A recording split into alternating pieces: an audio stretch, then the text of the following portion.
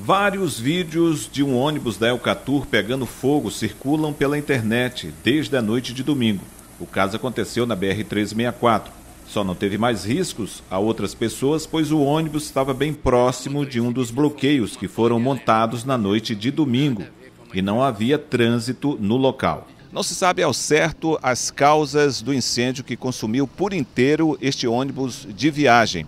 O que sabe é que ele estava próximo de um dos bloqueios na BR-364, no quilômetro 337, em Ji-Paraná.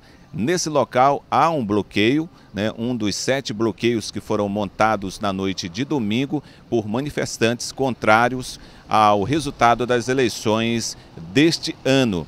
É possível, inclusive, ver imagens, várias imagens que foram levadas para a internet por pessoas que passavam no local e reproduziam, filmavam, faziam imagens, é, inclusive no momento em que o fogo estava consumindo por inteiro é, o ônibus de viagem. Uma das pessoas, inclusive, comenta que já havia conversado com o motorista e que o motorista do ônibus havia afirmado desconfiar que a causa do acidente havia sido um curto-circuito. Agora, a polícia vai estar investigando, fazendo levantamento técnico para saber realmente quais as causas desse incêndio de um ônibus de passeio na BR-364.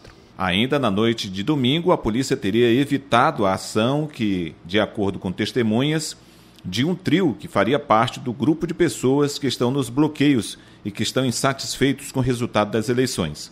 A ação acabou em troca de tiros, com um ferido e dois foragidos na vegetação às margens da BR-364, próximo à Curva da Morte, localizada entre Jaru e Ouro Preto do Oeste. Os acusados foram flagrados pela Polícia Militar no início desta madrugada, no exato momento em que iriam incendiar dois ônibus.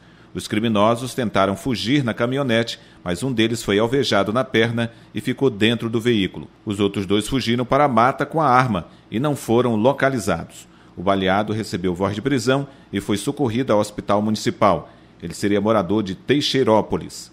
A caminhonete é de propriedade de um morador de Nova União.